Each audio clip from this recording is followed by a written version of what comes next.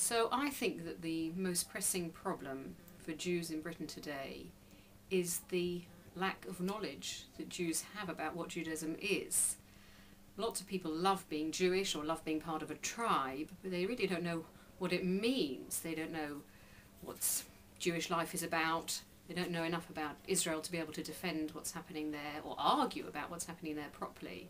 People are very worried about the outside world not liking us, and they should be, but they don't have the tools with which to fight back in an intelligent way or feel good about themselves. So I see lots of Jews saying things that are incorrect or not really understanding how to talk about Judaism to other people. So, from my point of view, the most pressing problem for Jews in Britain today is a very sad lack of knowledge.